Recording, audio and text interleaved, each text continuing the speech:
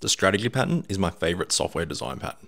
It's a behavioral pattern that allows us to write interchangeable code so we can select the right strategy based on the situation. Let's take a look at an example. We want to write some code where we send out a notification to our user, but there's multiple ways we can send out notifications. Using the strategy pattern, we can create a common interface to make these different strategies interchangeable. Let's take a look at this code. We have an order service and we have a method called ship order.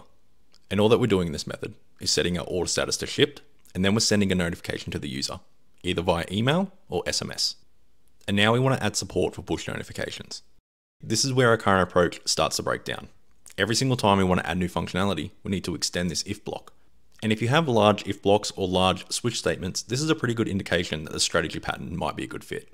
So how can we fix this using the strategy pattern? Well, first we can create an interface called order notifier. This will have a method called notify order shipped. Next, we need to add our interface to our email service and our SMS service. And then we need to implement the notify order shipped method.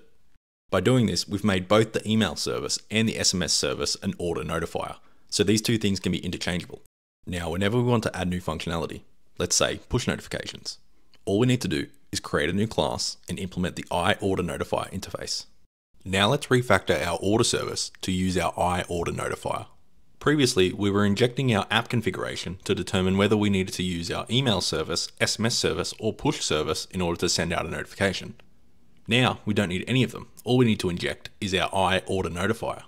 Next, let's remove these if blocks because we don't need them anymore. Now that we're injecting the order notifier, we can just call directly notify order shipped. And behind the scenes, this could be an email service, an SMS service, or a push notification service. Now that we've refactored the order service to take in an iOrder notifier and make use of the strategy pattern, let's start adding some new implementations of how to send out notifications. Let's add a way to send out letters in the post, and we also had one particular client that really wanted to get their notifications via carrier pigeon. As you can see, adding these two new ways to send out notifications, we didn't have to change our order service whatsoever. And that's the benefit of using the strategy pattern.